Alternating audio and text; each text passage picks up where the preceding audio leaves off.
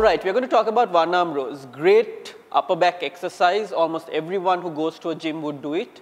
But again, technique takes priority. So let's have Charya, who's a triathlete, who's been training with us for over six months, just demonstrate this exercise. So first, let's talk about the position. The position is critical. So Charya is getting into this position. We want to have a nice wide base with the legs, a nice flat back Charya. So yeah, that's the perfect position. Arms dead straight. And we always like heels pasted to the floor. The reason is if you have your heels pasted to the floor, when doing this exercise, you're going to have less wobbling and you're going to have a stable core when doing this exercise. So Charya is in a perfect position, nice wide stance, flat back, no flexion, okay, and she's just going to uh, do a few reps for us. Okay. So when doing this exercise, you want to make sure the back of the dumbbell touches the hip or the rib cage. You want to be pulling with the elbow not bicep, and you also want to make sure you get that end range of motion. So you want adduction and abduction at the shoulder at the end.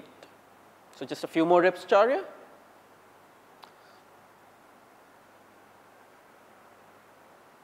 Okay, good work. All right.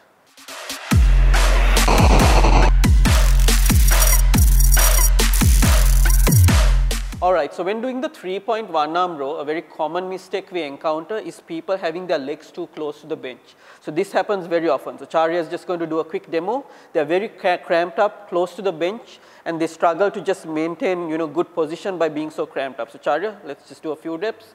They're very cramped up, struggle to get that uh, full extension of the arm and it's a real struggle. So the very simple way to correct it is all you just got to do is push those legs back and get into the stable position and then you are just good to go.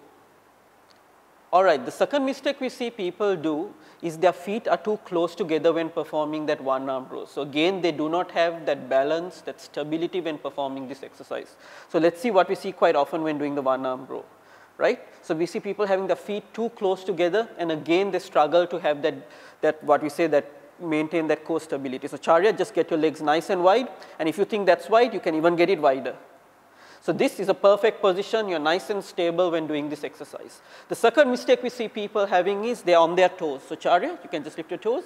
Again, you tend to wobble when doing this exercise. And again, you struggle to maintain that stability. Some people will struggle to get their heels to touch the floor based on their ankle mobility, but at least you should try to push your heels to the floor as much as possible. So Charya, feet onto the floor, and then we can just hammer a few reps.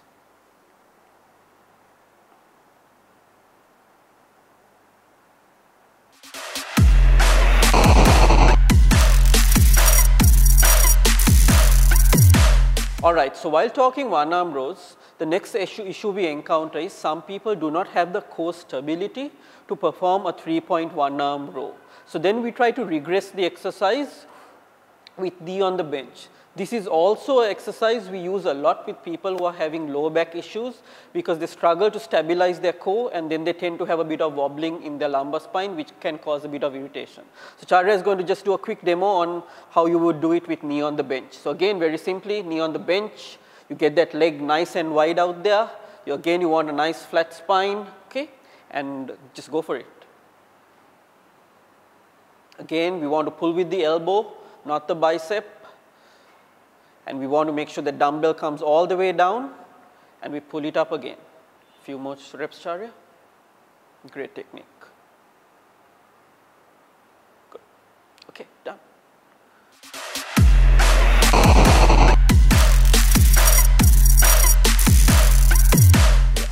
Right, so we're going to talk about some common errors when doing the one arm row with knee on the bench, right? Something very common that happens is people tend to sit back when doing this exercise rather than moving forward. So Charya, let's just show a few reps uh, with you sitting backwards.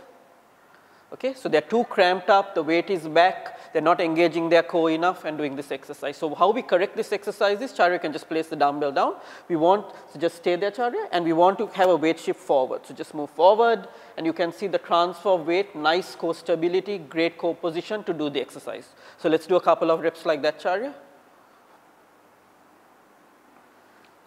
So just when doing this exercise, again remember you want that weight shift forward, not backwards